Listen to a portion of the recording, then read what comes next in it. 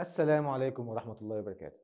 حبايبي طلاب ثانوية عامة بإذن الله معكم السيد مقلد مدرس مادة الأحياء على منصة زاتوب إن شاء الله بنبدأ مع بعض المنهج بتاعنا من أول وجديد حتة حتة تركة تركة فنية فنية.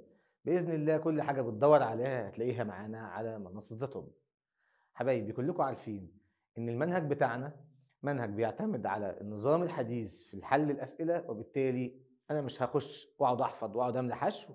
لا أنا هخش أشوف المستر بيتكلم على الفنية إزاي عشان أقدر أوصل لأحلى فكرة وأقوى فكرة في السؤال.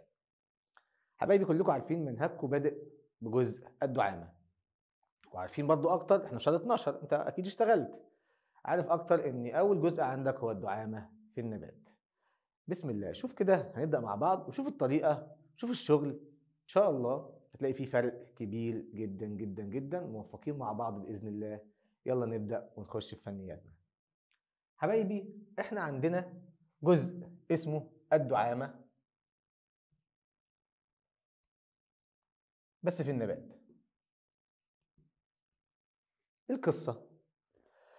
شوف النبات ده ليه مستقيم. يعني أي نبات في الدنيا مستقيم وحتى لو جت رياح عملت فيه تمايل النبات ده ماسك نفسه ما بيتكسرش بسهولة. طيب يبقى عنده دعامة. طب إيه الدعامة في النبات؟ الدعامة في النبات عبارة عن شوية وسائل. ها وسائل دعامية تدعمه وتحافظ على شكله وتقيه طيب وسائل الدعامية في النبات دي أو الدعامة في النبات ديت عبارة عن حاجة من اتنين. يا إما هعمل دعامة بدخول الماء يا إما هعمل دعامة بترسيب مواد. تاني كده؟ ها. يلا إيه الدعامة بتاعتي؟ الدعامة في النبات اللي هي عبارة عن وسائل تحافظ على النبات وشكله تدعمه وتقيه تحافظ على شكله وتدعمه وتقيه هي كام طريقة؟ طريقتين. يا إما هدعم بدخول ماء يا إما هدعم بترسيب مواد على الجدار الخارجي. وبكده هطلع بنوعين دعامة.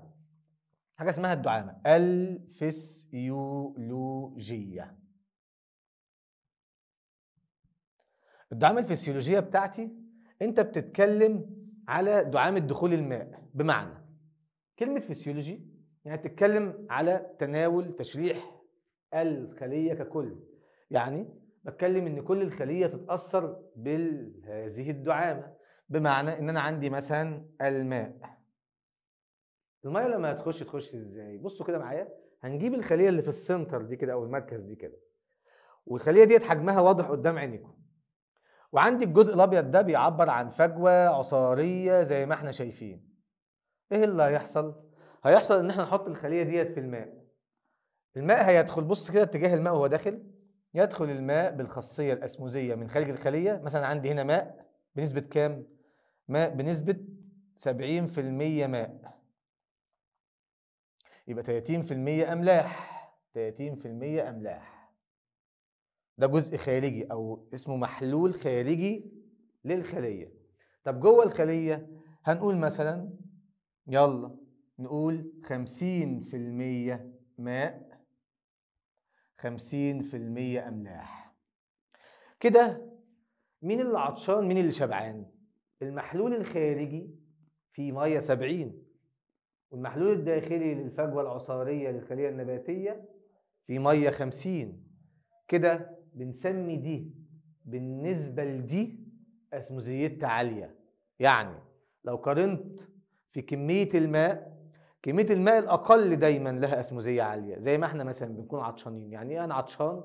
يعني كمية المية اللي في جسمي قليلة فبضطر أشرب. ساعة ما أكون بشرب وبسحب مية وأدخلها بنهم مش قادر عطشان كده أنا عندي أسموزية عالية. لحد ما بطل وأوقف. كده أسموزيتي بقت منخفضة. يبقى الأسموزية المنخفضة زيادة ماء قلة أملاح. أسموزية عالية زيادة أملاح عطش قلة ماء. طيب دلوقتي إيه اللي هيحصل بقى؟ هيحصل إن الماء هيدخل من ال 70% إلى 50% لحد ما يتساوى. كده دخلت مية صح؟ دخلت مية. فلما دخلت مية إيه اللي حصل؟ همدد وهنفخ الفجوة العصارية حجمها هيزيد. تقوم هي تضغط على مين؟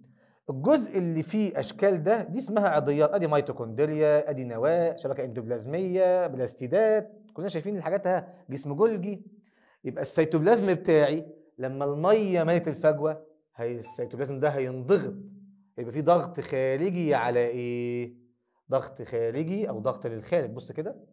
ضغط للخارج كده. الفجوة بتزق لبره والسيتوبلازم بيزق لبره لأن هو أصلا بيتزق من الفجوة. يبقى يلا. هيحصل إن الفجوة العصارية تضغط على البروتوبلازم وتدفعه للخارج فيتمدد فتنتفخ الخلية. وانتفاخ الخلية معناه اكتساب إيه؟ أيوه اكتساب دعامة. بس دعامة مين يا أستاذي؟ الدعامة الفسيولوجية. اكتساب دعامة فسيولوجية.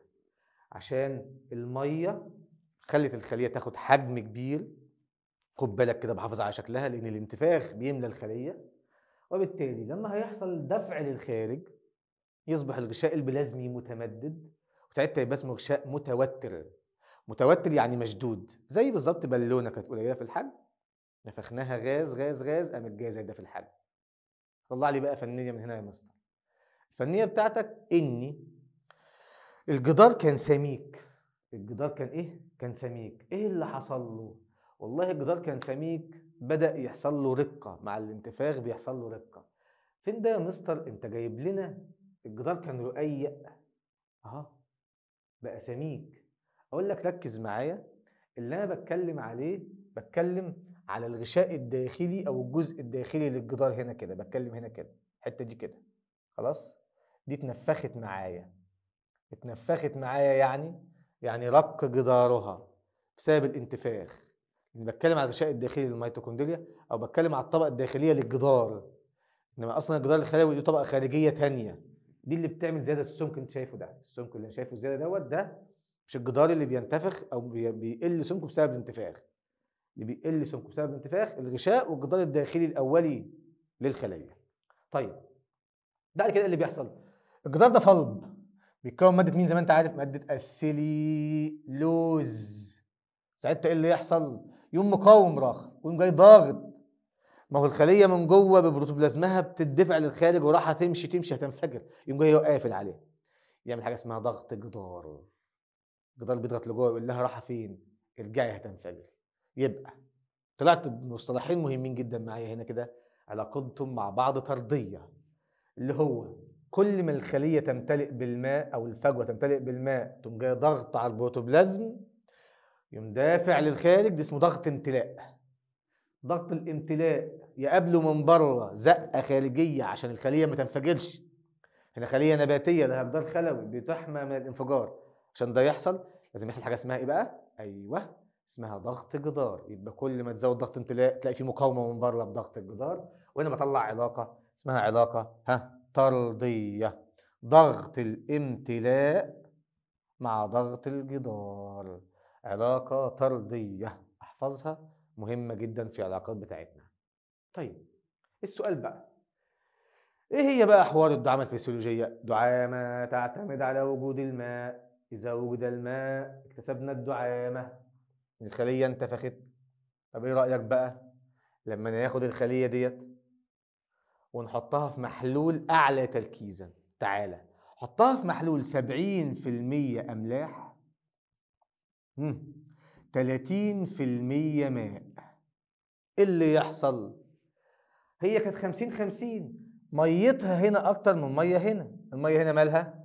تعالى شوف معايا. ها. بصوا كده معايا. شوف مع بعض. شوف هنا المية كام؟ المية 50 المية هنا كام؟ المية 30 لما أحط الخلية ديت في محلول أو سبت تربة أو سبت نبات عطشان فترة يقوم النبات ده يفقد لمصالح التربة أو التربة التربة فقدت ميتها خالص والنبات فيه نسبة مية هيفقد لصالح التربة. أو أحط خلية نباتية أو أحط بعض البذور في محلول مالح عنها. خد يلا هي المية 50 عندها والمية هنا 30 تقوم جاية هي فاقدة لحساب المحلول اللي قاعدة فيه. يقوم يحصل المنظر ده. بصوا كده يا جماعة الفجوة عاملة إزاي؟ شوفوا الفجوة عاملة إزاي. بصوا كده الفجوة قد إيه؟ حجمها قل. ما دام الفجوة حجمها قل يبقى الضغط الامتلاء قل. ضغط الامتلاء قل يبقى الجدار يرفع ايده. مش مش هزق. أنا بزق لما ألاقي حد بيزقني. الجدار ما بقاش يزق. وهي خدت نفسها لجوه. والغشاء الداخلي آه يا جماعة ده اللي أنا بتكلم عليه. بصوا كده معايا؟ بصوا معايا كده. شوف السمك ده كده كله سمك. شوف كده لما حصل انكماش انكماش إيه اللي حصل؟ حصل إن جدار أو سمك الجدار أو الغشاء الداخلي زاد تاني. دي كلها مساحة مسافة مسافة سمك خد بالك. هنا مش موجودة هنا مش موجودة خالص. دي الفكرة. خلاص؟ يبقى أصبح إن في انكماش فقدت الدعامة الفسيولوجية لأني فقدت الماء. اذا الدعامة الفسيولوجية دعامة مؤقتة. مؤقتة ليه؟ بعتمد على وجود الماء. وجد حصل ضغط امتلاء زقيت انتفاخ ضغط على البروتوبلازم جت دعامة فسيولوجية. محافظة على شكل الخلية. حلو. خد دي. فقدت الماء. أهو امتصاص ماء فقد ماء. فقدت الماء فقدت الضغط الداخلي اللي هو ضغط الامتلاء. ما قدرتش أطلع فين؟ ما قدرتش أطلع وأزق لبره تاني. ما حافظتش على شكل الخلية. خلية منكمشة. وبالتالي فقدت الدعامة الفسيولوجية. لاحظ الراجل جايب لك جدار خلوي بلازمي المسافة دي هي اللي بتعرفني السمك. المسافة بين الجدار والغشاء. هي لو حصل دخول للداخل معناها ان الغشاء بعد عن الجدار ده زيادة سمك. المسافة دي كلها بتعرفك إن الدعامة مفقودة الانكماش السمك كبير. إنما ديت لما تختفي معناها السمك قليل بسبب الدفع وبسبب الضغط الداخلي. كويس الكلام. حبايبي كده الدعامة الفسيولوجيه بالنسبة لنا كتركات خلصت. بس تعالى ناخد أمثلة بسرعة كده بقى. الراجل الفكهاني أو الراجل الخضري بيسيب الخضار بتاعه كده أو الفاكهة بتاعته كده ولا بيقعد يرش عليها مية؟ بيرش عليها مية. عشان عارف إن الشمس طول النهار بتفقدها مية. يبقى هنا بقى في حاجات ممكن تأثر على الدعامه تخيل الشجرة دي أو النبات ده موجود في تربته كده ولقيت عنده ذبول. يبقى ده فقد ميته فقد دعامته. الثمرة انكمشت فقدت ميتها فقدت دعامتها. عندي مثلا مديني مثال على بذور البسلة غضة طرية. حتى وسيبها شوية بره لمدة يوم أو يومين هتلاقيها بدأت تنكمش. يبقى دي اتفقدت حطها تاني في المية بدأت تنتفخ. نبات انت زرعه على السطح عندك في بيتك في قصريه الزرع بتاعتك أو في أي دلوة عندك أو أي جرده الزرع عندك خد الحاجة ديت وسيبها تعطش لمدة 3 4 أسابيع في جو حار. هتلاقيها بدأت تذبل تفضل انقذها بمية. تلاقيها بدأت تستعيد استيقان استقامتها مرة أخرى إذا ما رويت. يبقى الانتفاخ بيحصل ويخلي الخلايا تنتفخ من جديد. اتفقنا بقى. في بقى عوامل بتأثر. اللي هي إيه بقى؟ أنت معاك حاجة اسمها النتح ومعاك حاجة اسمها البناء الضوئي وحاجة اسمها الامتصاص. كم لفظ؟ ثلاثة يلا يا وحش. هقول مين ومين ومين؟ ها. النتح البناء الضوئي الامتصاص. بص معايا. النتح النتح معناها فقد. لو جاب سيرة نتح بس نتح بس. ماله؟ ده بيفقد. فلما أفقد بفقد دعامه فسيولوجيه نتح معناها فقد ماء يبقى هوصل للصورة دي ولا للصورة ديت؟ لا أوصل للصورة دي. يبقى فقدت دعامه فسيولوجيه فقد الماء فقد الدعامه الفسيولوجيه خلاص كده؟ طيب. امتصاص. امتصاص يعني همتص ها فقد ماء ده نتح يا جماعة والله. نتح. ها امتصاص. النتح يفقدني الماء يفقدني الدعام الامتصاص يكسبني ماء يكسبني الدعام حلو الكلام؟ يبقى النتح والامتصاص المفروض عكس بعض. بس في حاجة. الأستاذ بناء ضوئي الحاج المعلم الكبير بتاعنا بناء ضوئي ده عبارة عن إيه؟ عبارة عن عملية بيتم فيها استهلاك الماء عشان أعمل بيه نواتج اللي هي الجلوكوز والأكسجين وكده. حاضر. أنت وأنت بتعمل ده خليك عارف إن البناء الضوئي بينتج جلوكوز. بينتج إيه؟ جلوكوز. فالجلوكوز هيزيد فين؟ هيزيد في الفم البناء الضوئي لما يحصل يعمل إيه؟ هيزود جلوكوز. لما يزود جلوكوز أكيد بيخسر دعامه. ما هو زودت جلوكوز يعني قللت مية. يقوم يجبر على الايه على الامتصاص. فالبناء الضوئي لما بيزيد استهلاك مية. استهلاك المية يسببني ان أعمل إيه؟ أعمل امتصاص. يبقى البناء الضوئي ممكن يبقى أحد أسباب اكتساب الدعامة الفسيولوجية.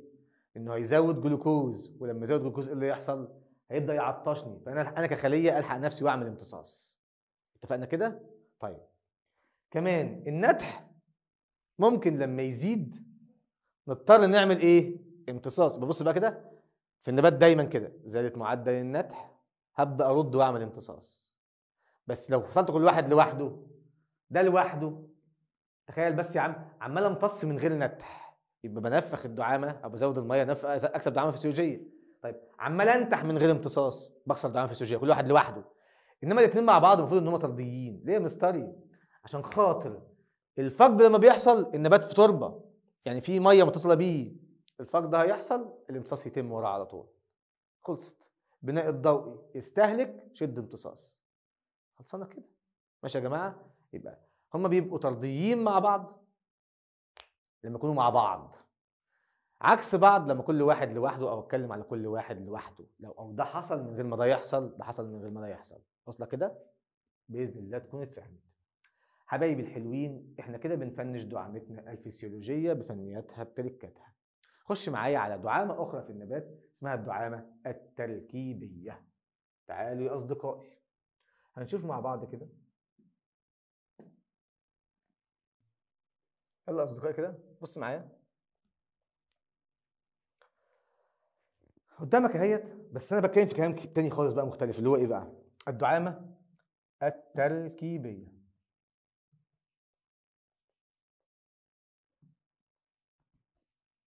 كلمة دعامة تركيبيه يعني بتتكلم على ترسيب على جدر الخلايا الخارجية اللي قدامك دي كده. شوف معايا بكل هدوء بقى. انسى بقى إن ده حوار إيه؟ حوار مية قدامك خلاص إحنا خلصنا منه. طيب بص لي كده شوف أنا هعمل إيه. إيه رأيك في القصة دي كده؟ على الجدار من بره صح؟ ده اسمه ترسيب. ها خارجي صح كده؟ طيب. الترسيب الخارجي دوت معناها إنك أنت بتقفل على الخلية من بره دلوقتي هي خدت مية دلوقتي صح؟ خدت مية. فأنت لو سبتها كده ممكن في صغور صغور تفقد أو الخلية ديت تفقد عبر الصغور بتاعتها. فتعمل إيه سيادتك؟ تقوم جاي أنت قافل على الخلية من بره ترسيب على جذور الخلايا الخارجية. خصوصا لو خلية بشرة. يعني بص كده أنا هعمل إيه؟ شوف المنظر ده كده. ادي خلية خلية خلية خلية.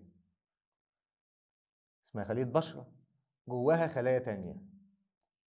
ده النبات اهوت دي خلايا بتاعته. الخلايا الخارجيه ديت بيبدأ يترسب عليها من بره إيه؟ يترسب عليها من بره. ماده كده. لكم مثلا نشوف. بص كده. ده المنظر. المادة دي كده؟ ترسيب على الجدار الخارجي للخلايا خصوصا لو خلية بشرة. هنا عندي اللي هي المنظر ده برضو ها ترسيب على الجدار الخارجي للخلايا خصوصا لو خلية بشرة. طيب سؤال. كده أنت عملت إيه؟ كده أنا عملت دعامة لأني غلظت في دعامة تركيبيه اللي هي دعامة ترسيب الحاجة الثانية أنت عملت إيه؟ أنت حافظت على المية اللي موجودة لأن المادة اللي هتترسب ديت مادة غير منفذة للماء وهنا بتكلم كمثال على مادة الكيوتين. يبقى أنا عندي مين؟ ها أول حاجة ها الكيوتين. ماله الكيوتين؟ الكيوتين مادة ترسيبية على جدار الخلايا الخارجية. اذا دعامة تركيبية. الدعامة التركيبية ترسيب بعض المواد الصلبة على جدر الخلايا أو على أجزاء منها. ده التعريف بتاعك. طيب هدفها إيه بقى؟ هدفها إنها بتدي صلابة تدي قوة تدي حماية تدي تغليظ تدي شكل كل ده موجود معاك. طيب المثال عندي الأولاني الكيوتين. الكيوتين كده اتاخد معايا بيشتغل في الدعامتين يا حبايبي. دعامة تركيبية ودعامة إيه؟ فسيولوجيه تركيبية ليه؟ تركيبية إن هو ترسيب على جدار الخلية. بس هنا فسيولوجيه لأنه مادة غير منفذة للماء. هتمنع فقد الماء تقوم الخلية تحافظ على نسبة المية اللي جواها في الفجوة وبالتالي اكتسبت نوعين الدعامة. دي حاجة. في حاجة تانية مهمة جدا جدا. خد بالك برضو هعمل لك نفس الرسمة بس بشكل مختلف. بص كده. أنا عندي خلايا بشرة برضو أدي خلية بشرة. خلية بشرة. خلية بشرة. وبعدين جواها خلية عادية خلايا قشر أو غيره. وبعدين عملت إيه أنا بقى؟ جبت لك مادة ورصبتها من تاني. بص كده. اللي أنا مرسبها دلوقتي دي اسمها إيه؟ كيوتين. برة صح؟ خد بالك بقى في الجديد. الجديد اللي بتكلم عليه هنا كده.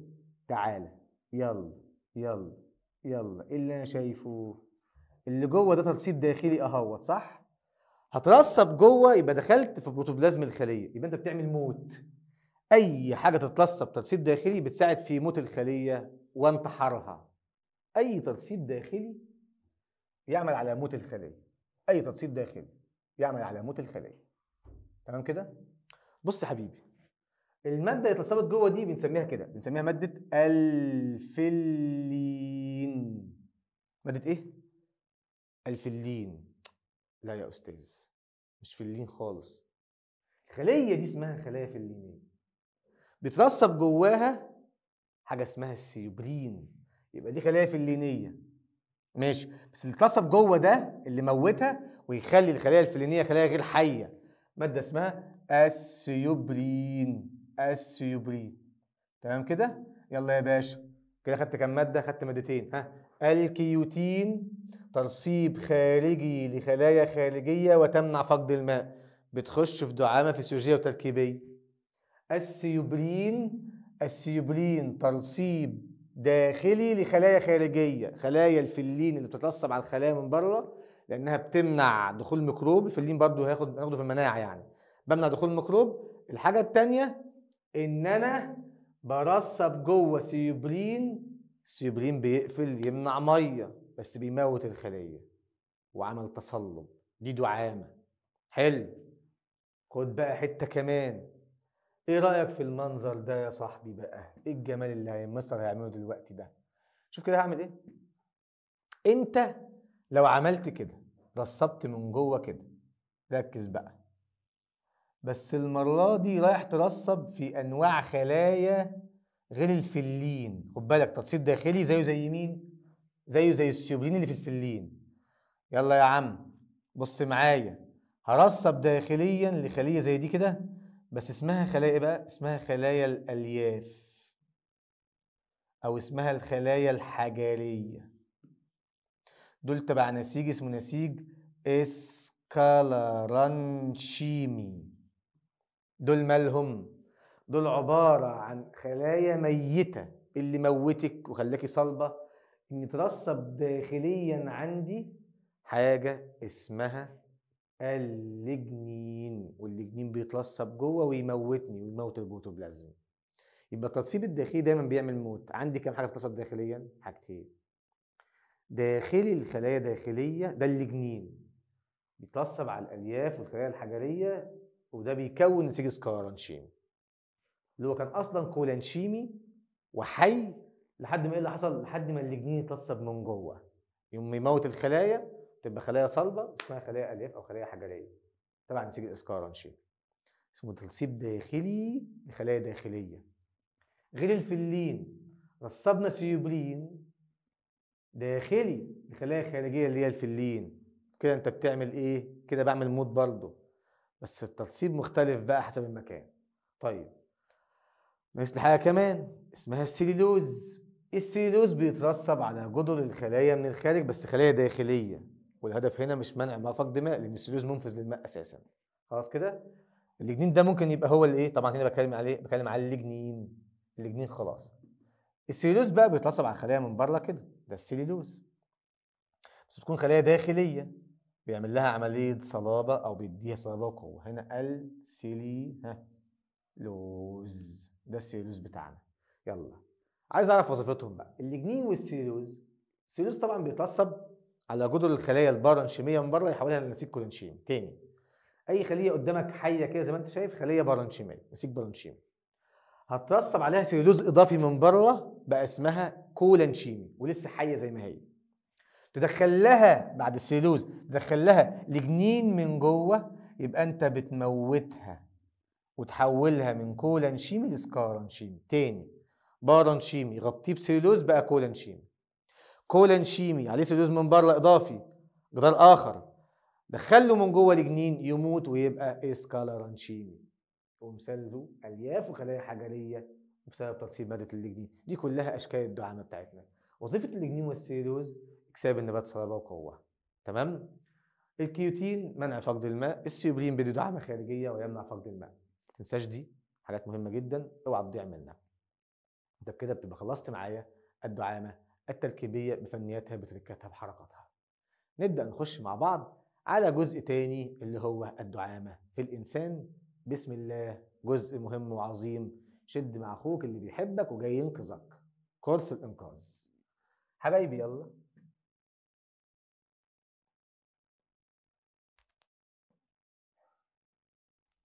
بص معايا كده. هتتكلم معايا على الجهاز الهيكلي في الإنسان. يلا بسم الله.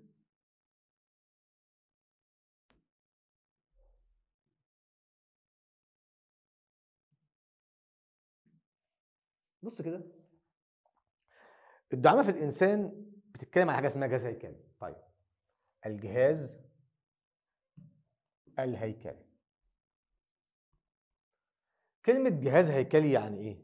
جهاز هيكلي يعني بتكلم على خمس حاجات.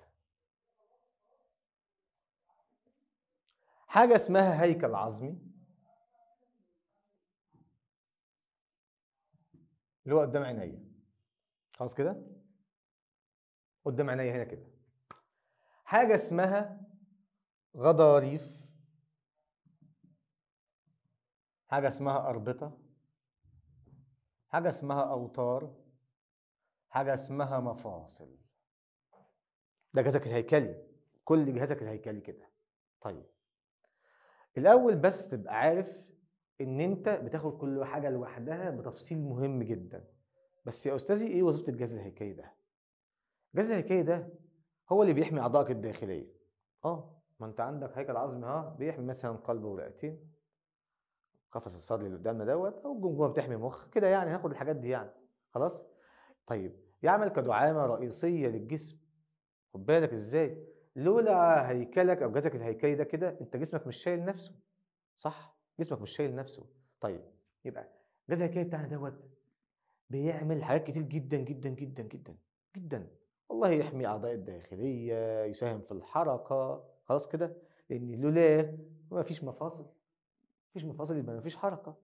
مفيش أربطة وأوتار تبدأ تساعد في الحركة. خلاص الجهاز الهيكلي بتاعك هو دعامتك الرئيسية الأساسية. طيب مين البرنس اللي إحنا هنتكلم عليه؟ بنبدأ بالهيكل العظمي. هيكلك العظمي ده اولا تحفظ كده إن هو 206 عظمة. كام الرقم يا أستاذي؟ آه 206 عظمة. متقسمين إزاي؟ هيكلك العظمي حاجتين. حاجة اسمها هيكل محوري أساسي لا غنى عنه. أي خسارة ليه أنت ميت. حاجة اسمها هيكل طرفي حاجات طرفية ممكن تعيش من غيرها. ممكن ممكن تعيش من غيرها مش أساسية قوي في حياتك. طيب المحوري كام؟ 80 عظمة. والطرفي كام؟ 126 احسب. من 80 زاد 126 يديك كام؟ 206 طب تعالى كده نشوفهم. بص معايا بالراحة. هنا الجزء اللي قدامي ده اسمه هيكل محوري 80 عظمه تعال نحسبهم يلا كده. عندك جمجمتك كام؟ جمجمتي اهي 29 جمجمتي 29 بتتكلم في إزاي ماشية؟ هتحفظها معايا وهنشوفها بعد كده. عندي حاجة اسمها الجزء المخي اللي هو الخلفي للجمجمة ده كده 8 عظام والوجه فيه 14 كده 22 ومعايا عظيمات سمعية إن أنت عندك هنا في ثلاثة وهنا في ثلاثة خلاص هتشوفهم انت معايا.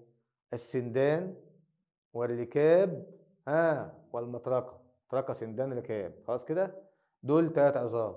ثلاث عظام هنا في اليمة التانية. وعندي عظمة هنا اسمها العظمة اللامية. واحد عظم لامي. خلاص كده؟ طيب يبقى انت كده معاك سبعة و22 29 دي جمجمتك تعالى خش معايا على القفص الصدري. هريحك بس في حتة جامدة جدا. ده لما يجي لك لازم تعمل كده. ده كده عبارة عن إيه بقى؟ بص بص بص بص بص بص. 37 عظمة. يا أستاذ بتقول إيه؟ بتقول إيه يا مستري؟ 25 هم أقول لك فوق بالراحة كده. أنت دلوقتي لما تطلع معايا بص كده. مين ده؟ عمود فقري. محسوب معاه دول. كم فقرة ظهريه 12 دول لازم يتاخدوا مع القفص الصدري. قفصك الصدري. في كم فقرة ظهريه في 12 بيخشوا ويكملوا مع الضلوع عشان نقفل القفص. فالقفص محسوب له كام؟ 37 إزاي ما هو 25 حبيبي 25 دول قص وضلوع وهو ما زال ما قالش 37 لأنه حاسب الظهريه مع العمود الفقري عشان يطلع لك ال 80 عظمة مظبوطين. خلاص؟ إنما أنت وأنت بتتكلم على القفص لازم آخد ال 12 فقرة من العمود وأضيفهم معاه. ده كلام خلصان. هو بس الراجل ناقصهم هنا ليه؟ عشان هو حاسبهم مرة مع مين؟ مع العمود الفقري. وبكده ما يحسبش مرتين عشان يطلع لك ال 80 عظمه مظبوطين. طيب شوف معايا بقى. العنقية بتاعتنا أو العمود طبعا خلاص القفص الصدري كام؟ 37 اللي هم 25 قدام همك. واحدة قص و24 ضلع وبناخد 12 ظهرية من العمود نضيفهم هنا. تمام؟ إلا بقى لو عايز تشيله عشان تحسب في الهيكل أو الهيكل المحوري ماشي مش مشكلة. طيب يبقى كده خدنا جمجمة خدنا قفص أدي العمود بقى. العمود الفقري بتاعك يا حبيب قلبي. عمودك الفقري عبارة عن سبع فقرات عنقية. 12 ظهريه خمسه قطنية. خد بالك من الرقم ده كده؟ خمسة عجوزية. هنا في خمس فقرات. بس منهم عظام ملتحمة حسبهم واحدة بس. يبقى كفقرات خمسة. كعظام كام؟ واحدة بسبب الالتحام وعندي هنا أربعة. اسمهم أربعة عصعصية. أربع فقرات. بس مالهم؟ الراجل قال لك إن هم برضه ملتحمين. حسابكم عظمة واحدة. اذا عندي كام؟ 7 و12 19 و5 24 دول اسمهم يا جماعة فقرات متمفصلة. تاخد ده معايا دلوقتي حالا. فقرات متمفصلة بينها فواصل غضروفية أو مفاصل غضروفية. هنا تسعة تحت همت خمسة وأربعة تسعة بس يحسبوا كعظمتين اتنين. دي اسمهم فقرات ملتحمة وبالتالي تحسب كعظام. يبقى أنت عندك كم عظمة؟ عندي 26 عظمة في العمود الفقري. 26 ومعايا 25 ومعايا فوق 29 كلهم يبقوا 80 بص معايا بقى في اليمة التانية كده لما نروح نجيب الهيكل الطرفي. كام؟ 126 عظمة. تعالى لي اطلع. معاك حاجة اسمها حزام صدري. بص بص بص بص بص وطرفان علويان. يلا الهيكل الطرفي إيه؟ حاجتين. حزام صدري طرفان علويان. كتافي ودراعاتي. وحزام حوضي الحوض بتاعي ورجليني اللي تحت. حزام حوضي اهوت قدامك وطرفان سفليان هناخدهم بالتفصيل. طبعا الراجل حسيتك بقى إيه الكلام كتير قوي. إحنا مش هنخش في دي دلوقتي كله جاي إن شاء الله. الحصة الجاية أو نص الدرس الحصة الجاية بنكمل فيه ده كله. الدرس الأول عندك بتاع الدعامة متاخد على محاضرتين. إن شاء الله ما نسيبش حاجة فيه خالص. استحمل معايا وأديك تريكات قوية. إن شاء الله ربنا يوفقنا مع بعض. حبايبي تعالى بقى ناخد الأستاذ هيكل محوري حاجة حاجة مع بعض كده. يلا يا حبيب قلبي اطلع مع أخوك اللي بيحبك. الله تعالى. أول برنس عندنا. البرنس بتاعنا اللي قدامنا ده اسمه إيه بقى؟ اسمه يا أستاذنا العمود الفقري. أول حاجة بناخد ده ها العمود الإيه؟ العمود الفقري. ماله العمود الفقري؟ قسم معايا بقى كده متقسم خمس مجموعات. يلا بص كده. أول مجموعة عندك اسمها مجموعة الفقرات العنقية. هنا ما أبص عليها يلا على طول أنا بشرح فنيات على طول. خش على طول فنيات خلص. أول ما أخش عليها ألاقي نفسي بتكلم في إن في فقرة أولى. الفقرة الأولى ديت ده شكلها يتحفظ يبقى دي أول شكل في شكل عندك أهو. وبعدين الفقرة الثانية لها شكل آخر كده في شكلين. وبعدين الفقرة ها ادي فقرة واحد فقرة اثنين ها ثلاثة أربعة خمسة ستة سبعة. كده العنقية كام؟ سبع فقرات. الأولى بشكل الثانية بشكل والثالثه والرابعة والخامسه والستة الخمسة دول بشكل. ده الشكل الثالث كده ثلاث أشكال العنقية لوحدها فيها كام شكل؟ ثلاث أشكال. طيب كمل أشكالك كده اطلع معايا. بص معايا كده ها.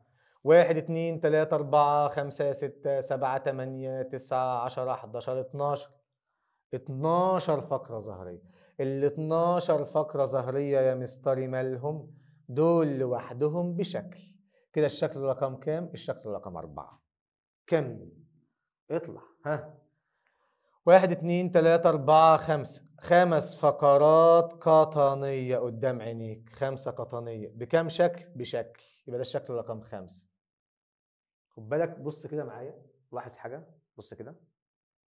هنا الفقرة دي والفقرة ديت من أوضح الفقرات. وأكثرهم الفقرات وضوحا هي الفقرة القطنية اللي قدامك ديت. واضح جسمها كويس أكبر جسم واضح فيها نتوءاتها بشكل كبير. كل دول بيقولوا لك إيه؟ بيقولوا لك إن أكتر فقرة نموذجية تقدر تشتغل عليها هي الفقرة القطنية. يبقى يلا يا مستر أنت ما غششتناش. دي اسمها إيه؟ حبيبي أنت مش صغير. اسمها فقرات عنقية. اسمها إيه دي يا مستر؟ اسمها فقرات ها ظهرية اسمها إيه دي يا مستر؟ اسمها فقرات قطنية. واحدة واحدة. خلاص أشكال وبعدين أخش على اللي أنت عايزه. بعد كده بنخش عليه بقى آدي شكل. شكل موحد اللي هو فقرات عجوزية خمسة ملتحمين دي كلها على بعضها كده ها اسمها إيه بقى؟ مجموعة فقرات عجوزية كلهم شكل واحد بس في منهم كبير وصغير دي أكبر واحدة أصغر شوية أصغر أصغر أصغر يبقى الحجم بيقل ونازل لتحت يبقى ده شكل اسمه الشكل رقم ستة كده ست أشكال ودي العصاصية الأخيرة معايا تحت اللي هي الشكل رقم سبعة كده عندي عدد أشكال أو الأشكال العمود الفقري أو أشكال فقرات العمود الفقري سبع أشكال سبع أنواع أشكال كمان لأن كل شكل ملوش دعوة بالتاني. خلص الكلام.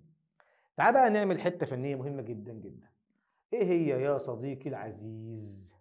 أنت شايف دلوقتي وأنا نازل كده وأنا نازل. هحفظ حاجة. العنقية دي حجمها متوسط من حيث الحجم متوسطة والظهرية أكبر منها قليلا. كان الحجم بيزيد وأنا نازل لتحت. اتفقنا؟ كمان هتنزل عند الفقرات القطنية ودي فقرات بتقابل تجويف البطن. بص كده وسطك كده. قال لك آه قطنية تعبت النهارده.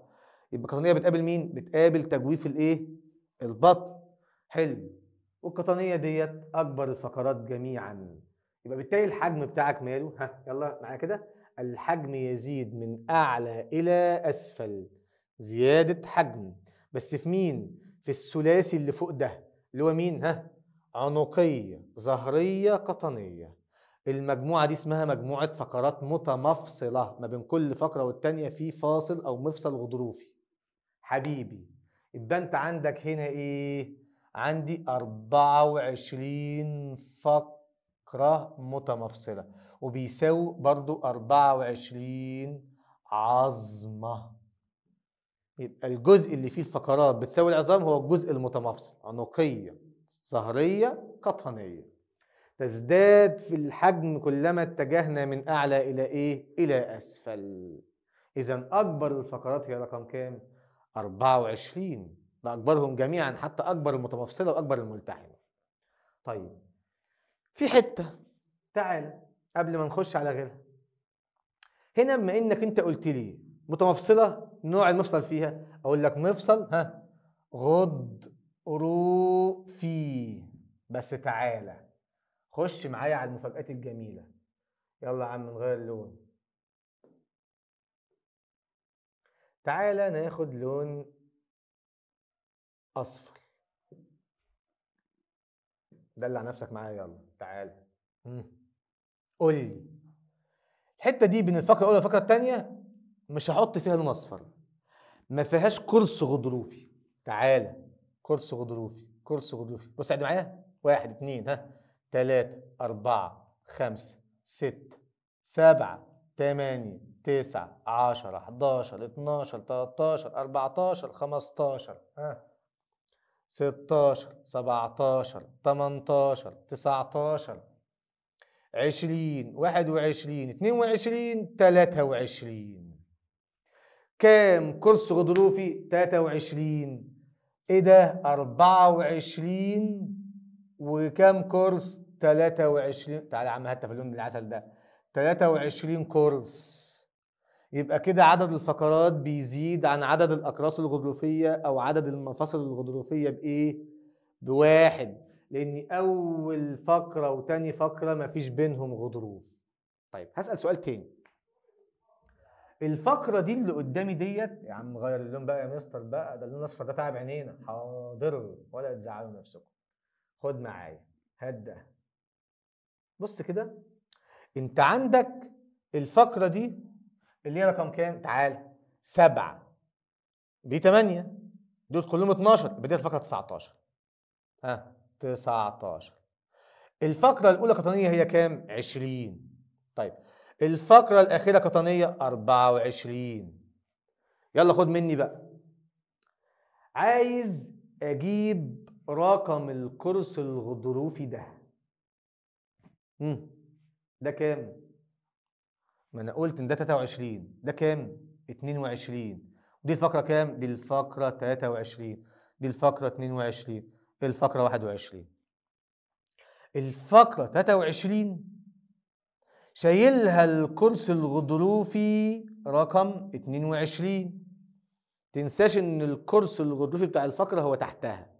كل فقرة قرصها الغضروفي ماله؟ اللي تحتها. ليه؟ تعالى الأولى ملهاش قرص يبقى الثانية ليها قرص أقول تاني؟ ها. الأولى ملهاش كورس. الثانية مالها؟ الثانية لها كورس غضروفي خلاص؟ يبقى الكورس الغضروفي رقم واحد للفقره رقم اثنين وهكذا. واصلة؟ طب لما أحب أجيب بقى رقم الكورس الغضروفي أجيب رقم الفقرة ناقص واحد. تعال ها؟ دي الفقرة كام؟ 23 كورسها الغضروفي هيبقى كام؟ 22 لأن آخر كورس عندي 23 يلا. رقم الكورس الغضروفي بيساوي رقم الفقرة ناقص واحد. خلصانة بقى كده؟ هات نفسك هاتها كده وخلاص حطها قانون وريح نفسك. طيب. خد بالك بقى من الضغوط. مين أكثر فقرة محتملة الضغط؟ 24 لأنها شايلة كل اللي فوق. طيب. مين أكبر كورس غضروفي شايل الضغط؟ 23 يبقى يلا مين متحمل ضغط أكتر؟ الفقرة 23 ولا الكورس 22 لا الكورس 2 ده الكورس 22 بتاعها. يبقى دايما الضغط تحت أكتر. طيب الفقرة 24 شايلة ضغط أكتر؟ 23 لا 24 شايلة ضغط أكتر. طب الكورس 23 شايل ضغط أكتر وأكتر. واصلة؟ بيتحمل ضغط الفقرة. ضغط الفقرة متشال على الكورس الغضروفي بتاعها. اللي هو مفصل غضروفي وده مفصل محدود الحركة بيبدأ بيسموه كده إيه؟ محدود الحركة جدا.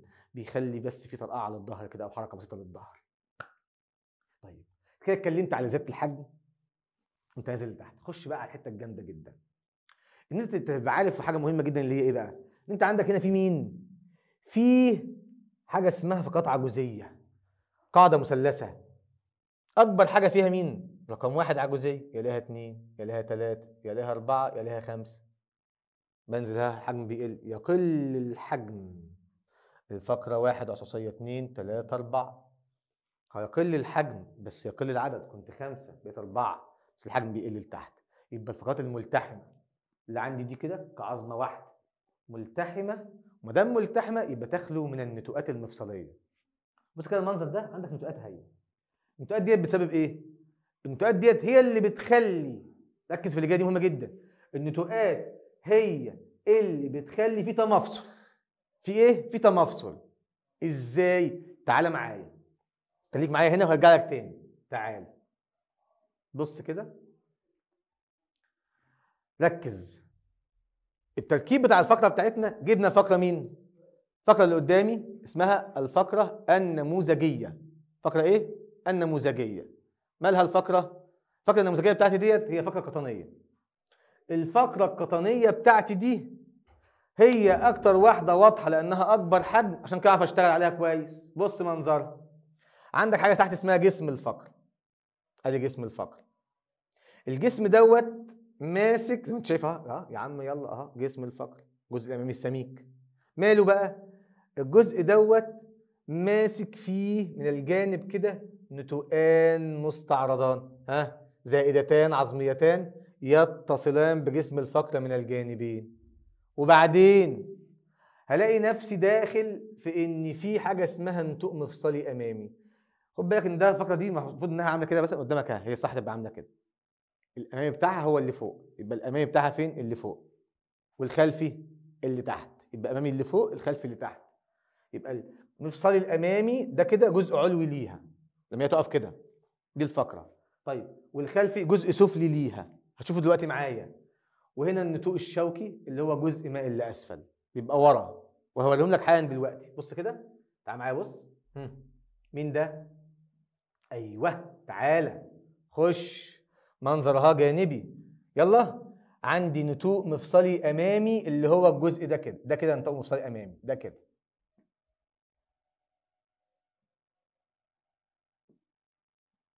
ده أمامي اللي هو فوق ده كده. بص كده ده فوق أمامي أهو. ده أمامي. ماشي؟ وبعدين نتوء مفصلي خلفي اللي هو الجزء ده كده الحتة دي كده. وبعدين نتوء شوكي ده الزائده اللي فيها المائلة الأسفل. وبعدين في نتوء جانبي كده اسمه نتوء مستعرض. اتفقنا؟ اللي هو عندك ده مستعرض ده مستعرض. اللي هو جايب كده والتجويف ده عشان يمسك في الضلوع. وهنشوف. بص معايا. تعالى تاني. ها؟ اللي أنا شايفه؟ نتوء مستعرض جانبي وأمامي بيكون أعلى خلفي بيكون أسفل والشوكي زائدة مائله لاسفل طيب مين شايل مين؟ بص بقى ركز معايا كده. النتوءان المستعرضان دول شايلين مين؟ شايلين النتوءان الاماميان وبيتصلوا بالضلوع من الجانبين. تمام؟ ماشي.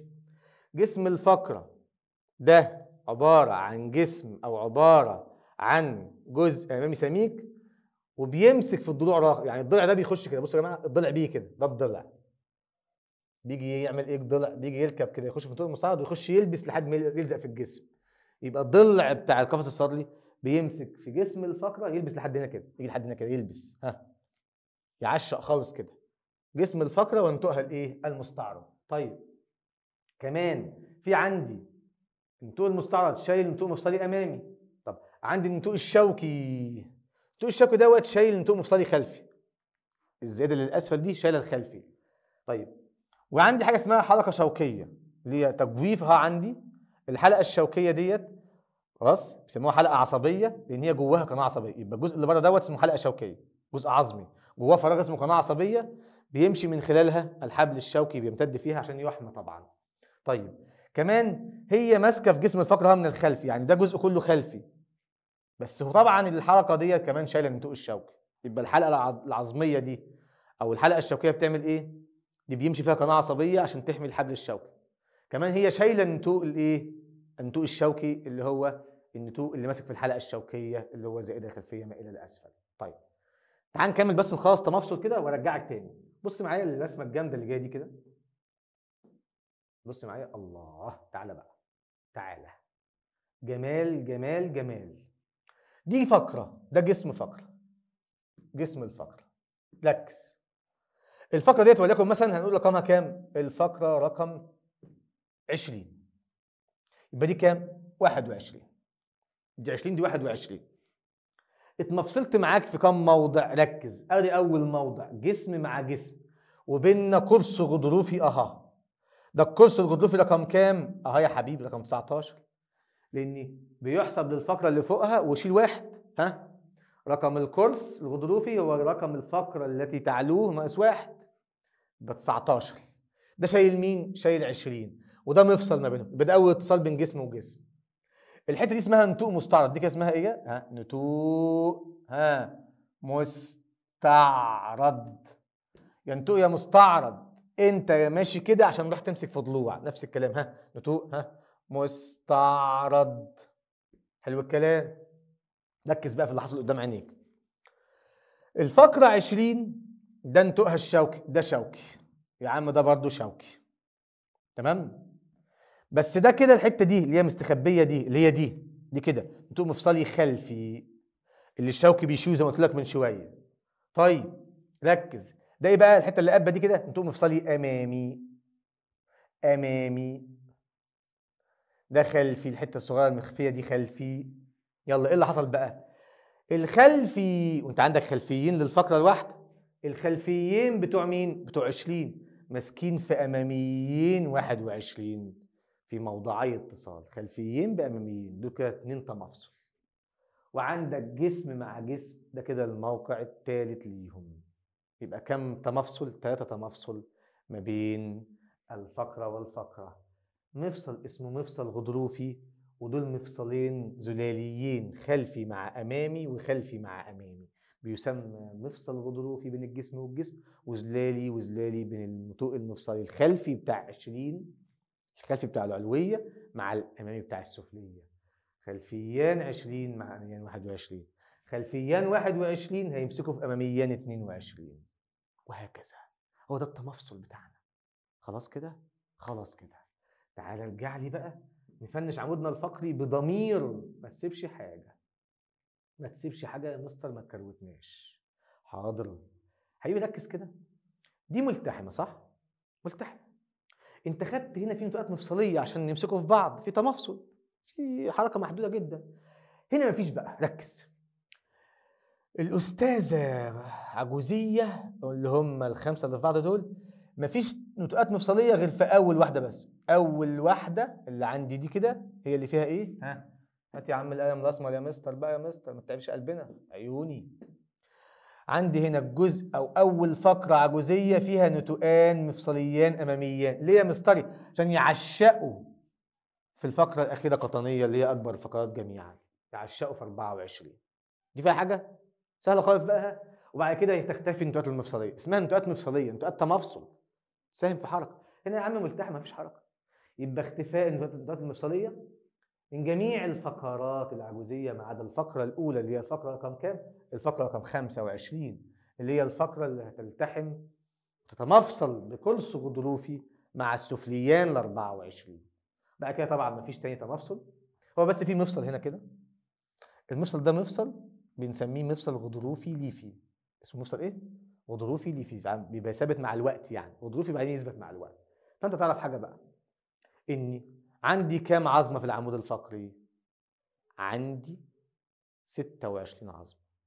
بكم مفصل؟ ب 25 المفاصل بتقل عن ذنب واحد. بس أول مفصل بين الفقرة الأولى والثانيه وآخر مفصل بين العظمة 25 والعظمة 26 دول مفيش فيهم غضاريف مفاصل غير غضروفيه عشان كده أنت هتلاحظ إن هي مفيش فيها انزلاقات يعني. يعني أي حاجة تانية يحصل فيها انزلاق ما عدا الاثنين دول. مفيش أصلا غضاريف مفيش قرص غضروفي أساسا. يبقى الفقرات عددها كام؟ عددها ست أو عظام عددها كام؟ من العمود الفقري 26 بكم مفصل 25 كم قرص غضروفي 23 كم مفصل غضروفي 23 ليه؟ أول مفصل بين الاولى والثانيه وآخر مفصل بين 25 26 ما فيهمش غضاريف. بس كده. بس هي مفاصل. مفاصل بس من غير غضاريف. سهلة جدا يا مستر. خش معايا بقى في حتة أخيرة هنا اللي هي بص كده موضوع الانحناءات. عندك عنقية مالها؟ ها أدي انحنائها للأمام أهو. وأدي يا عم النتوء الشوكي للخلف أهو.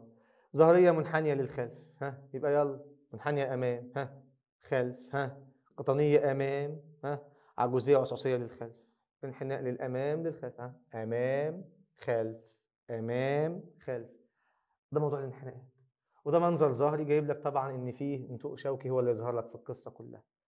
العمود الفقري بتاعنا يا جماعة فن صدقوني. الدنيا سهلة والله والموضوع جميل وبإذن الله توفق معايا بإذن الله توفق معايا. إن شاء الله خير إن شاء الله خير. حبايبي ناقص لي حتة صغيرة كده بكلمك على الجمجمة والقفص الصدري ما بياخدوش مننا حاجة. بعد كده نحل أسئلتنا على الدرس واستنى مني امتحان إلكتروني يعجبك جدا. حبيب قلبي تعالى أنت عندك قلب حبيبة قلبك تعالي يا جمجمة اصغري شوية عشان نشوفك تعالي بقى. بص يا وحش. انت هنا عندك الحاجة جمجمة. الجمجمة هي جزء من الهيكل المحوري جزء رئيسي. عبارة عن جزئين. جزء خلفي أو مخي اللي هو الجزء ده كده. بص كده بص كده بص. الحاجات دي كلها كده. بص بص بص بص بص. كل ده كده كده كده كده كده. موجود معايا كده فين؟ ده اسمه جزء خلفي. أو الصح هنا هي الحتة دي بالظبط. بالظبط كده. تمام كده؟ طيب. إيه القصة؟ ان انت عندك ثمان عظام. ادي عظمة الثانية الثالثه الرابعه ادي أربعة وأربعة في اليمة الثانية جزء المخ ده عبارة عن ثمان عظام. ثمان عظام. ثمان عظام. ثمان عظام. تمام؟ وبعدين عندي إيه بقى؟ ها؟ يلا كبر شوية مستري بقى. حاضر. وبعدين عندي إيه؟ عندي جزء جبهي ده لسه مع بعض. عبارة عن كام عظمة؟ ها؟ عبارة عن 14 عظمة. عبارة عن إيه ده بقى؟ والله عظام الوجه والفكين. الفك السفلي عظمه الفك العلوي عظمة في عظام يعني مش عظمة واحدة يعني بس الأسنان مش عظمه يلا. مين تبع الهيكل العظمي بس مش عظام الأسنان لأنها امتدادات وبروزات من مين؟ من عظام الفك السفلي والفك العلوي. طيب. الفك السفلي ده بيتحرك لتحت والمفصل هنا كده مفصل الفك السفلي ده كده اسمه مفصل زلالي محدود الحركة عشان بيتحرك كده خلاص؟ مفصل زلالي محدود الحركة بيتحرك لتحت كده ويطلع لفوق تمام؟ طيب. أو آسف بيتحرك لتحت طبعا الحركة اللي فوق دي هو كده كده بيرجع رد فعل يعني. يبقى اذا عظام الوجه والفكين وتجاويف العينان والأنف والفم. خلاص كده؟ أو تجاويف عينين وأنف آسف وأذن. يبقى كده كده الفم جاي مع الفكين في بقى تجاويف عينين ها؟ تجاويف أنف تجاويف أذن. دي كلها تبع عظام الفك أو عظام آسف الجزء الإيه؟ الجبهي بعد كده عندي إيه؟ عندي عظام الجمجمة كلها تحسب 29 ليه؟ ما تنساش إني قلت لك إن في واحدة اسمها عظمة لاميه وفي ستة في الأذن. مطرقة سندان ركاب مطرقة سندان ركاب. فانت جمعت الجمجمه 29 طب وظيفتها إيه؟ والله وظيفتها إن هي بتعمل إيه؟ والله أنت خدت العمود الفقري من شوية بيعمل إيه؟ بيحمل حبل الشوكي خدناها والله قلناها. طب العمود الفقري هو دعامة رئيسية للجسم صح؟ العمود الفقري هو اللي بيصل الجزء العلوي بالنصف السفلي هو اللي بيحرك جسمك بيحمل الجزء العلوي اللي هو القفص الصدري ومين القفص الصدري والجمجمة. إيه بقى دي بتعمل إيه؟ دي بتحمي المخ بداخلها لأنها علبة عظمية هتقفل أمامي مع خلفي والخلفي ده ما تنساش إن في أطراف مسننة بين عظامه أدي عظمة مع عظمة مع عظمة العظمة دي بتتراقى أسنانها كده مع أطرافها المسننة وتعمل مفصل اسمه مفصل ليفي. المفصل الليفي دوت مع تقدم العمر والطفل لما يبدأ يكبر ويشد مع كالسيوم بيترسب ولبن ورضاعة وكده يبدأ يتحول نسيج عظمي بدي أنسجة ليفية. تصل مع بعضها هذه العظام الثمانيه الخلفية. عند أطرافها المسننة اتصالا إيه؟ وثيقا. تحول مع تقدم العمر من أنسجة ليفية إلى أنسجة إيه؟ عظمية. من ليفية إلى عظمية وتبدأ تشد وتبقى جمجمتك حجر. عشان كده عظام الطفل وهو صغير أكبر من 206 وأنت 206 ليه؟ عشان في عظام هنا بتلتحم ها في الجمجمة. كمان لما أرجع هنا بشكل سريع إيه اللي أنا شايفه؟ أنا وأنا طفل بيبقاش عندي ركز كده ما بيبقاش عندي الفقرات العجوزية والعصعصيه ما بتبقاش عندي ملتحمه بتبقى سايبة من بعضها. وتلتحم مع الوقت برضه تتحول لمفاصل ليفيه وأنسجة عظمية. خد بالك كل ده بيمسك في بعضه تاني. كمان عندك عظام في الحوض هتلاقيها برضه ماسكة في بعضها وهنشوفها الحصه الجايه يبقى تعرف إن الطفل عظامه أكتر بكتير من 200 وكام؟ 206 بتخش بتعدي رقم كبير مختلف عليه على فكرة. طيب يعني بس طبعا أقل من 300 يعني. في ناس بتقول أكتر من كده وأقل من كده. طيب حبايبي هرجع أكمل مع جمجمتي الحلوه كده خلاص جمجمتك خلصت يا مستر؟ آه خلصت. إنك أنت بتتكلم إنها بتحمي المخ بعد ما تعمل تجويف داخلي والتجويف الداخلي بتاعي دوت بيجي بسبب التقاء الجزء الخلفي الثمان عظام اللي مربوطين مع بعض اتصالا متينا عبر الأطراف المسننة مع الجزء الوجهي طب بس في حتة أخيرة بقى. عندي هنا جزء انهار كده في الحتة دي كده. أو هنا بالظبط بقى. اسمه بقى اسمه الثقب المخي أو الثقب الكبير اللي هو بيتصل من خلال المخ بالحبل الشوكي. في حبل شوكي ماشي ماشي في العمود الفقري كده وجاي الحبل الشوكي دوت بيمشي في الحلقة الشوكية أو القناه العصبية من جوه. هيروح يمسك فين؟ يمسك في المخ جوه. عشان ده يحصل لازم نعديه ونعشقه اللي هو الفقرة الأولى العنقية الجمجمة بترتكز عليها عشان ندخل حبل شوكي عبر الثقب اللي هو هنا كده في مؤخرة الجزء الخلفي للجمجمة. اسمه ثقب كبير أو ثقب مخي يتصل من خلال المخ بالحبل الإيه؟ بالحبل الشوكي. وبكده يا عم جمجمتنا خلصت. خش على اللي بعده بقى عشان تقفل هيكلك المحوري. تعالى يا وحش الوحوش حبيب قلبك القفص السطري. نصحى فيه شوية بقى كده والنبي يا جماعة عشان ده فيه شغل جامد جدا. الحج قفص صدري عبارة عن طبعا إنسى دي دلوقتي دي مش معانا النهارده ده جزء حزام صدري طرف جزء طرفي هيكل طرفي الحج قفص صدري عبارة عن إيه؟ عبارة عن عظمة القص. أدي عظمة القص. عبارة عن 24 ضلع 12 زوج من الضلوع. متقسمين إزاي؟ أولا بس الضلع ده مقوس كده. بص بص بص بص بص بص بص. من خلف للأمام أو الأمام للخلف عظمة مقوسة ماسكة في الأمام بالقص ومن الخلف بالنتوءان المستعرضان للفقرة الإيه؟ الظهرية. بس تعالى كده. واحد اتنين تلاتة أربعة خمسة ستة سبعة. كمل في اليمة التانية؟ أنا هقول لك يلا. تعالى يا عم هات نفس اللون البنفسجي الجميل. يا وحش. البنفسجي الجميل نفس اللون. يلا عم. ها واحد ها اتنين تلاتة أربعة خمسة ستة سبعة. المستر بيعمل إيه؟ المستر جايب لك أول سبع أزواج من الضلوع دول ماسكين في القص اتصال مباشر. أها بص بص رايحين أها رايحين ها مباشر. شايف؟ ها على القص عدل على القص ها أدي الخامس أدي السادس أدي السابع. كده في 14 اتصال سبعة وسبعة اسمها ضلوع حقيقية. يلا ما هي الضلوع الحقيقية؟ هي الضلوع التي تتصل بعظمة القص اتصالا مباشرا. كمل. في عندي حاجة تانية اسمها إيه بقى؟ اسمها ضلوع غير حقيقية. اللي هي مين تعالى لي كمل معايا. شايف 8 و9 و10 اهم 8 9 10 رايحين على القص. عد. الثامن رايح على القص بس واخد سكة السابع. بص مش ده السابع؟ السابع أهو. الثامن ماشي في سكته. التاسع ماشي في سكته. العاشر ماشي. يبقى عاشر ثامن تاسع عاشر. مش هيروحوا على القص غير من سكة السابع. تامن تاس آه التامن راح فين؟ ماشي من سكة آه سكة السبعه أهو. تاسع عاشر. رايحين على القص من سكة مين؟ من سكة السابع. فدول ماسكين في القص بس بشكل غير مباشر. لانهم ماسكين في القص عن طريق طريق ضلعين السابع أو ضل- ضلعين أو زوج الضلوع السابع. حلو الكلام؟ حلو الكلام. طيب. مطلوب منك طلب جامد جدا بقى يا حبيب قلبي. كده أنت خدت كام زوج من الضلوع؟ 20 زوج؟ لا 10 أزواج. 20 ضلع يعني. يبقى كده في 20 ضلع ماسكين اللي هم 10 أزواج ماسكين في القص وأنت قلت لي إن هم 24 ضلع. ناقص لك كام؟ ناقص لي أربعة. م? اللي هم زوجين. 11 ادي 11 12 ادي 12 إيه؟ فاء 18 فقرة 18 آه دي اسمها ضلوع عائمه يعني إيه عائمه ماسكة في الفقرات من الخلف بس ما لفتش مسكت في القص من الأمام. مرفرفة عشان تدي مساحة هنا للنفس والحجاب الحاجز تتحرك. هي ربنا عمل كده سبحانه وتعالى عشان يسهل حركة عضلة الحجاب الحاجز لأسفل وأعلى عشان نملى التجويف الصدري هواء أو نخرج الهواء اللي هو هواء الزفير طبعا. ندخل شريك نخرج زفير. اذا يا أصدقائي كده انت عرفت إن هم ثلاث أنواع من الضلوع حقيقية حقيقية اول سبع أزواج ماسكين في القص مباشر. غير حقيقية اللي هي الثلاث أزواج اللي عليهم الدور الزوج الثامن تاسع عاشر دول ماسكين في القص بشكل غير مباشر. والعائمه اللي هم زوجين من الضلوع أو أربع ضلوع اتصلان بالفقرة من الخلف ولكن لا يتصلان بالقص من الأمام.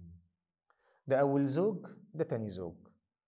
الزوج ال11 اللي هو 21 22 والزوج ال 12 اللي هو 22 24 ماسكين في الفقرة 18 والفقرة 19 اللي هي آخر فقرة ظهريه مش حاجة إن شاء الله وسهله طيب القفص الصدري ده بيعمل إيه؟ القفص الصدري دوت بيحمي القلب والرئتين ودي وظيفته انه بيحمي الأعضاء الداخلية زي ما خدنا في وظيفة الجهاز الهيكلي. سهله خالص. طيب يا عم قفص صدري عندك كلام تاني عايز تقوله؟ آه. عايز أقول حاجة حلوة قوي اللي هي أنا لما اتمفصلت بالفقرة الظهريه من الخلف كترت عدد التمفصلات للفقرة الظهريه تعال نشوف بقى كده بهدوء بهدوء خالص نحصل عليه. أنت لما ترجع لي للرسمة دي بص كده. تعالى لو نقيت لك فقرة ظهريه وليكن مثلا هغير هغير خالص اعتبر دول يا عم ظهريه تعالى. بقى.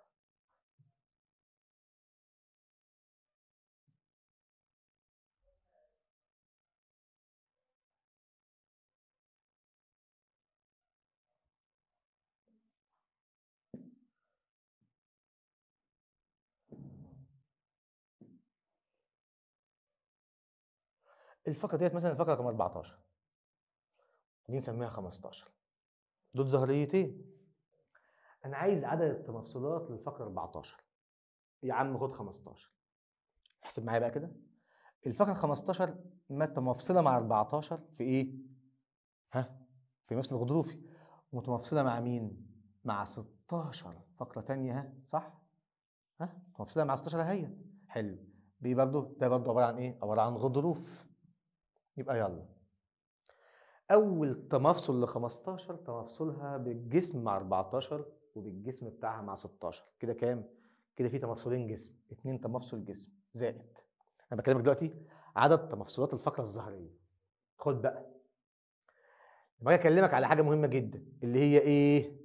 اللي هي التمفصل التاني بتاعها. عندك نتوء مستعرض. آه ده فقرة ظهريه عندها نتوءان مستعرضان. وعندها جسمين ماسكين في ضلوع كده نتوء مستعرض مع جسم في ضلع ونتوء مستعرض اليمة التانية مع جسم في ضلع كمان يبقى عندي زائد اتنين اللي هم اتنين نتوء مستعرض مع ضلع زائد اتنين اللي هم اتنين جسم مع ضلع تمام الكلام؟ تمام الكلام خد بقى كمان الفقرة ديت الفقرة كام؟ فقرة 15 ماسكة بإيه؟ ماسكة بالأماميين بتوعها. أماميين. في خلفيين 14 يبقى زائد 2 وماسكة بالخلفيين بتوعها. في أماميين 16 يبقى كمان أدي 2 في حاجة دي؟ ما فيهاش. يبقى أنت لما تعد معايا ال 15 أدي اتصال وأدي اتصال. كده جسم مع جسم كده 2 جسم مع ضلع جسم مع ضلع كده 2 نطق مستعرض مع ضلع نطق مستعرض مع ضلع كده اتنين. أماميين مع خلفيين اللي فوقها وخلفيينها مع أماميين اللي تحتها كده اتنين واتنين. يبقى أنت بتتكلم إن هي لوحدها كفقرة لها عشر مواقع تمفصل كفقرة ظهرية ما أقولش فقرة عادية عشان هي عيني بيخش لها قفص ويقفل معاه ارجع وفنش معايا. آخر حتة معاك هنا اللي هي تفنشه القفص. اتكلمت على فقرات ظهريه وعلى ضلوع. إيه القص دي بقى؟ عظمة مفلطحه مدببه من أسفل الجزء السفلي بتاعها تحت هبص كده بص بص بص جزء غضروفي اهو الجزء ده كده. الجزء السفلي غضروفي. عشان كده العظمة ديت بتتغذى بطريقتين. دم رايح للعظم الجزء العلوي بتاعها يغذيها وفي العظم نفسه يدي ديت بالانتشار مع الوقت. يديها بالانتشار مع الوقت. اتفقنا الكلام كده؟ يبقى جزء ال- الامامي مفلطح والسفلي إيه غضروفي خلاص؟ طيب. عايز بقى أشوف القصة ديت؟ آخر حاجة معاك كده في دقيقة؟ ماسك فيها كام اتصال أو كام مفصل معاها اولا في مفاصل ما بينها وبين الضلوع مفاصل غضروفية. العلامة البنفسجي دي علامة غضروفية. يبقى المفصل بين الضلوع والقص مفصل غضروفي. خلاص كده. بس غضروف صلب يا جماعة. صلب شوية. يعني مقرب من العظم. طيب. عد معايا بقى مفاصلها كده. القص متصلة ب 20 ضلع آه 10 أزواج. ومتصلة بطول قوتين هتاخدهم معايا الحصة الجاية. يبقى عظمة القص متصلة ب 22 عظمة مين هم؟ 20 ضلع و2 طول قوه وبكده حبايب قلبي. فنشنا مع بعض محاضرتنا أو درسنا الجميل أو حصتنا الجميلة اللي خدنا فيها الدعامة في النبات وخدنا الدعامة في إنسان هيكل محوري. بإذن الله. درسك بيخلص الحصة الجاية. بس قبل ما تقفل معايا يلا بينا نحل مع بعض أسئلتنا على الجزء اللي اتشرح. يلا بسم الله. حبايبي يلا معايا بقى. بسم الله. على الجزء اللي اتشرح بتاعنا بنجيب مجموعة أسئلة هامة ونركز مع بعض كويس. يقول لي عندما يزول توتر جدر خلايا النبات دليل على. والله انت خدت معايا إن التوتر يدل على دعامة فيسيولوجيه ها؟ زوال التوتر آه تعالى بقى. زوال التوتر أنت كده بتكلمني إن الدعامة الفسيولوجية مشيت. ما هو التوتر يعني انتفاخ صح؟ انتفاخ يعني اكتسبت مية دعمتني للخارج عملت دعامة فسيولوجية. وبالتالي التوتر الجدار مشدود. كل ده يتعكس يبقى خلاص يبقى فقد النبات الدعامة الفسيولوجية. سهلة بقى. ها؟ خلاص كده؟ يبقى يزول توتر جدر خلايا النبات دليل على فقد مين؟ فقد النبات الدعامه الفسيولوجيه بيقول لي أي الأشكال التالية يعبر عن علاقة بين عدد فتحات الصغول الموجودة في أوراق النبات ومقدار الدعامه الفسيولوجيه التي يكتسبها. هتقولي أنت بقى فتحات كتير يبقى نتح كتير فقد كتير. أقول لك اصحى بقى. وقال لك عدد الفتحات بس ما قالكش الفتحات دي مفتوحة ولا مقفولة. يعني فتحات الصغور دي يعني في صغور دي صغور دلوقتي. صغور عدد صغور افرض عندي 2000 صغر بس متقفلين بالكيوتين فين الفقد؟ يبقى أنا رأيي أنا بقى كده إنك هتاخد إن مفيش علاقة. مفيش علاقة بين مين ومين؟ بين عدد الصغور وبين الدعامة. فقد أو اكتساب. ليه يا مستر؟ عشان لازم يقول لي إن في نتح ولا مفيش بس كده. ما قاليش ما قاليش إنها صغور مفتوحة ولا مقفولة.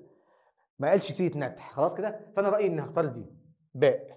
اللي هو الرسمة الثانية دي كده. أنا رأيي. ليه يا مستر؟ عشان أنا شايف إن مفيش علاقة بين عدد فتحات الصغور والدعامه الفسيولوجيه بدليل. لو رسبنا كيوتين العدد موجود بس أنت ما فقدتش حاجة. افرض عندك مليون صغر بس مترسب عليها ومقفوله مليون صغر بس خلايا الحديثة مقفولة فين الفقد؟ لازم يقول لي شرط إن في فتح ولا قفل. ما قالش. فإن شاء الله العلاقة ثابتة. مفيش علاقة أساسا. طيب كمل معايا. بيقول لي الوظيفة الأساسية لمواد الدعامة التركيبية في النباتات. والله الدعامه التركيبيه انت خدتها معايا بتترسب على الجدار الخارجي أو الداخلي عشان تعمل صلابة وقوة. دور عليها يلا. مفيش انتقال مواد سماح بالمرونة. أه تمشي جيم. لأنك بترسب من بره وبتعمل تغليظ. فبتدي صلابة وبتدي شكل للجدار. بتديه زاد سمك فالمحافظة على شكل النبات والخلايا النباتية. كمان لما تقفل من بره بالكيوتين بتمنع فقد الماء فبتحافظ على الشكل بعدم الانكماش. كويس. أربعة اتصل العمود الفقري بالهيكل الطرفي وباقي أجزاء الهيكل المحوري على الترتيب بمجموعة الفقرات الايه تعالى لي خد بالك بالراحة.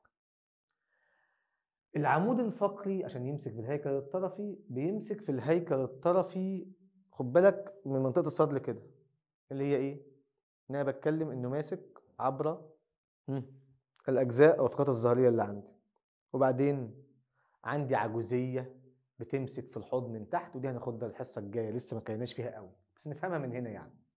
طيب يبقى لما أتكلم العمود الفقري يتصل بالهيكل الطرفي وباقي اجزاء الهيكل المحوري يعني عايز مين الأول؟ عايز الطرف الأول. وبعدين المحوري بعد كده اللي هو اتنين. على الترتيب بقى صح؟ طيب يبقى أي حاجة تبع المحوري تتاخد في الآخر. أي حاجة تبع الطرفي تتاخد في الأول. طيب العجوزية بتمسك في الحوض من تحت والحوض طرفي أو بتمسك في الحزام الحوضي والحزام الحوضي طرفي. والعنقية والصدريه العنقية ماسكة في الجمجمة والجمجمه محوري صدريه ماسكة في القفص الصدري والقفص الصدري محوري. يبقى اجابتي تبقى ألف. وأنا من غير ما أفكر كده. خش على اللي أنا سائلك عليه. لا يوجد نتوءات مفصلية في معظم الفقرات مين؟ والله لسه قايل لك إن العجوزية وأنا بشرح العجوزية أول فقرة فيها اللي هي الفقرة رقم كام؟ رقم 25 هي اللي فيها نتوء مفصلي أمامي عشان يمسك في مين؟ يمسك في الخلفي بتاع آخر فقرة قطنية. والباقي مفيش لأنهم ملتحمين. يبقى في معظم العجوزية. خش على غيره أنت عندك بيقول لك إيه؟ خلية نباتية. تركيز المحلول. داخل فجوتها كام؟ 20 ما دام كده بعمل كده. 80% ماء. لوحظ انتفاخها. تنتفخ يبقى تتحط في مية أعلى بقى. ما هو أكيد في مية أعلى من 80 عشان إيه؟ تنتفخ وتكتسب دعامه فسيولوجية. يبقى دور على مية أعلى من 80 يبقى دور على تركيز أقل من 20 ما هي كده.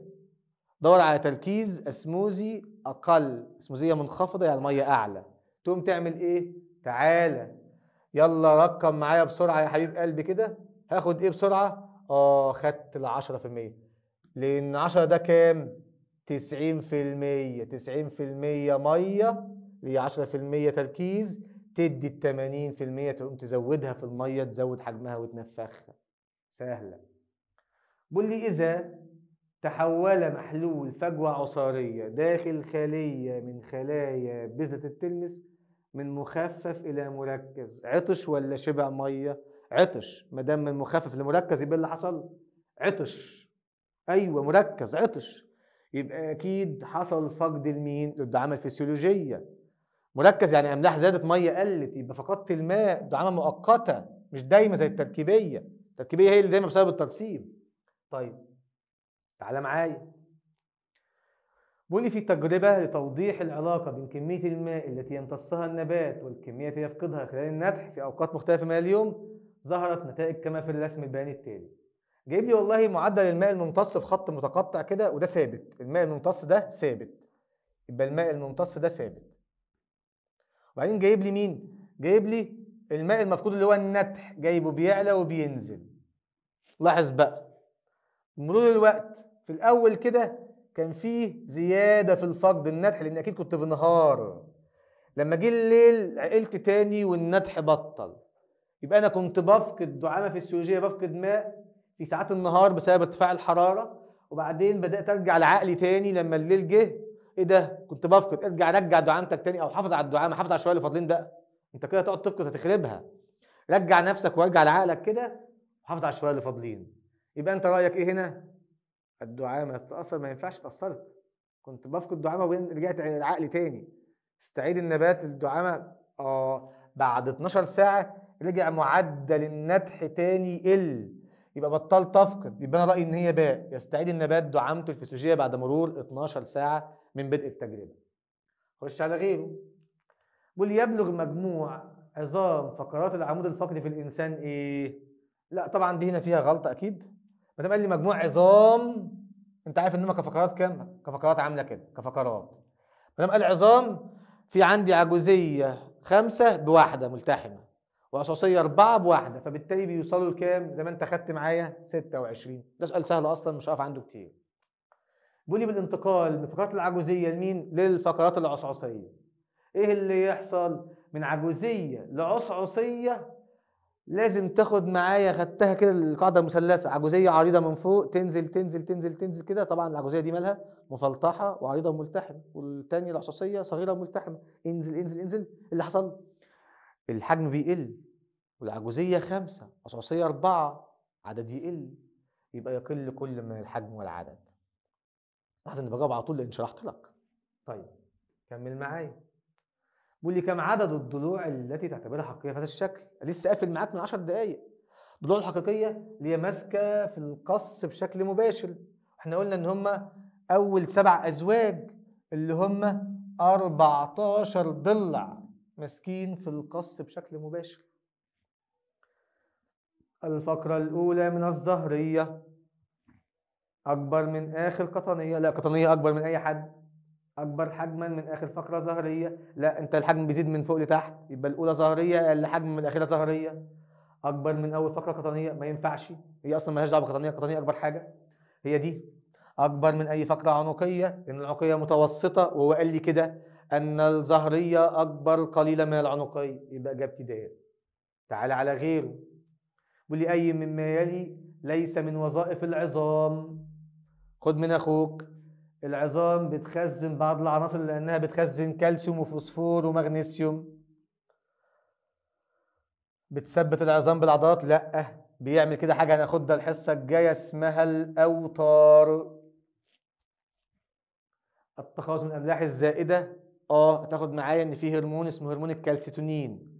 بيجي على الكالسيوم الزائد في الدم يسحبه ويخزنه في العظم. فالعظم هو عبارة عن مقبرة آسف في اللفظ مزبلة بشيل فيها الأملاح الزائدة تتخزن فيها. دي من ضمن وظائفه حماية الأعضاء الداخلية آه لسه واخد معايا إن المخ بيحمي الجمجمة العمود الفقري بيحمي الحبل الشوكي وكمان القفص الصلبي بيحمي القلب والرئتين. كمان العظام بتحمي النخاع العظمي تاخدها في المناعة. يبقى إجابتك باء. ليس من وظائف العظام. خش معايا على اللي بعده.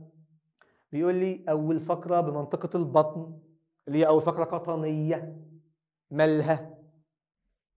يليها اللي ماسكة ضلع العام الأول. والله ضلع العام الأول في 18 بقى لها 19 أول فقرة قط... منطقة البطن دي فقرة رقم 20 أول قطنية. أول فقرة قطنية. ماشي الكلام؟ طيب يسبقها فقره أكبر منها حجما؟ لا اللي وراها 19 هي 20 دي أكبر حاجة لأنها أكبر أو أكبر حاجة يعني في أكبر من مين؟ أكبر من 19 خلاص كده. طيب وبعدين يقول لي إيه بقى؟ يقول لي يوجد بها أربع أنواع من أزواج النتوءات. إيه ده؟ يا عم في الكلام ده. ده النتوءات دي مالها؟ عندنا النتوءات دي خدنا اتنين مستعرضان وخدنا اتنين اماميان اتنين خلفيان واحد شوكي. هم أصلا كده كده تلات أزواج وواحد طيب. يسبقها الفقرة التي يتصل بها الضلع الثاني الشاذ آه ممكن الثاني الشاذ ده اللي هو قصده الضلع العائم بس كان الصح يقول لي الزوج زوج الضلوع الثاني. ممكن تمشي دي ليها فقط 19 بقى. يبقى يسبقها 19 هي إجابتي د دي أوضح إجابة بالنسبة لي. طبعا دي إجابة سهلة جدا. خش على اللي بعده. الفقرات العجوزية أصغر حاجة من القطنية بالرغم من أنها أسفلها. إزاي؟ والله العجوزية أصغر من القطنيه انها اسفلها بص العجوزية خد بالك إنها تحت وشايلة كل حاجة بس هي متشالة من مين؟ متشالة من الحوض. الحوض ساند معاها. ناخد الحصة الجاية. عشان كده العجوزية مالها؟ العجوزية صغيرة عن القطنية. القطنية شايلة اللي فوق كله. بس الحوض بالنصف السفلي ده شايلين كل حاجة بقى. يبقى أنا رأيي كده. ثقل الجسم توزع على الظهريه والقطنية ما ينفعش. الظهريه بتشيلش ثقل الجسم. الظهريه دي مش شبكه في القفص الصدري بس. قطنية؟ آه شايلة بس شايلة النصف العلوي. إنما النصف التحتاني بتاعك هو اللي شايل كل حاجة. يبقى ثقل الجسم يتوزع على عظام الحوض. طب يا أستاذ ليه العجوزية أصغر؟ المفروض تبقى أكبر. أقول لك لا كده كده هي مسندة على عظام الحوض فالعجوزية مش عايزينها تبقى كبيرة. صغيرة لأن الحوض شايل معاها إجابتي تبقى جيم. شوف مع بعض كده. ناقص لي حاجة بسيطة خالص. السؤال 16 بيقول لي عدد الأقراص الغضروفية بالعمود الفقري. والله قلت لك أنت عندك 23 كرسي غضروفي إنك عندك 24 مفصل غضروفي. أو 24 مفصل عموما ليه؟ آه تعالى لي تعالى لي تعالى لي. لا لا لا لا أنت عندك 23 مفصل غضروفي بس عندك آسف عندك 25 مفصل. عندك 24 مفصل للمتمفصلة بس في مفصل زيادة لمين؟ بين العجوزية والعصاصية. فأنت تبقى عارف إنك اقراص غضروفية بتقل عن عدد المفاصل المتمفصلة بإيه؟ بواحد عشان في أول فقرة وثاني فقرة ما فيش بينهم حاجة. 23 كورس. طيب. قدامي حلقة شوكية. الحلقة الشوكية ديت قال لي في مشكلة حصل إن الجزء بتاعها التجويف الداخلي ده اللي هو الحلقة ديت اتلصق فيها عظام. وبعد كده إيه اللي يحصل؟ كتمت بقى قفلت. تصبح قال صلابة لا طبعا ده الترسيب ده بيزود صلابة. كالسيوم. احتكاك لا طبعا ده, ده تجويف اتملى تفقد المرونة. مالهاش دعوة بالحركة الحركة موضوع تمفصل. بس ممكن قفلت يبقى لن يمر من خلال الحبل الشوكي ودي سهلة بالنسبة لي. تعال بيقول لي فسر زيادة حجم التجويف الصدري أثناء الشهيق علما بأن الحجاب الحاجز عضلة هيكلية تحد القفص الصدري من أسفل الحجاب الحاجز أهم. طب إيه اللي يزود التجويف الصدري؟